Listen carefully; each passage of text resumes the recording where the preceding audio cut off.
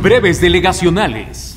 A unas horas de concluir el operativo Misión Peregrino 2016, han llegado a la Basílica de Guadalupe 6.902.300 personas, informó el jefe delegacional en Gustavo Amadero, Víctor Hugo Lobo. Al mediodía, peregrinos llegaban todavía al Templo Mariano y se superaban así las expectativas, por lo que la cantidad de creyentes podría rebasar los 7 millones al final del día. El jefe delegacional dijo que se trata del operativo más cuidado y vigilado porque se incrementó el número de funcionarios participantes y se hizo uso de tecnología de punta para cuidar la columna humana, desde su ingreso a la delegación Gustavo Amadero hasta su salida hacia su lugar de origen.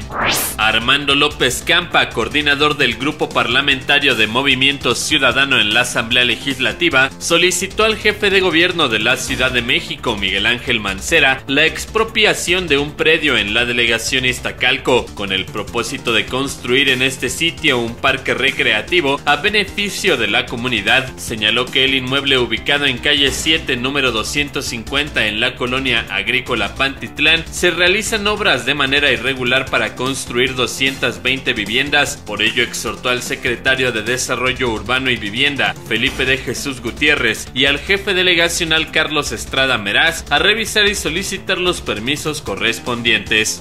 La delegación Iztapalapa puso en funcionamiento su propia pista de hielo e instaló un árbol de Navidad en la macroplaza del Jardín Cuitláhuac. En tanto, autoridades de la delegación Cuauhtémoc anunciaron la inauguración de otra pista de hielo, la cual se ubicará en el espacio del Monumento a la Madre y empezará a funcionar mañana martes. En Iztapalapa la pista de hielo es de ingreso gratuito, tiene una superficie de 600 metros cuadrados y funcionará de las 10 a las 21 horas y dará servicio hasta el 10 de enero. El público podrá patinar media hora en cada turno. En la delegación Cuauhtémoc, el costo de entrada será de 50 pesos. Este espacio tendrá capacidad para 200 personas y permanecerá abierto hasta el próximo 3 de enero. Entre la población de las 33 colonias de Cuauhtémoc se regalarán 5000 boletos. Informó para El Punto Crítico Diego Rivero.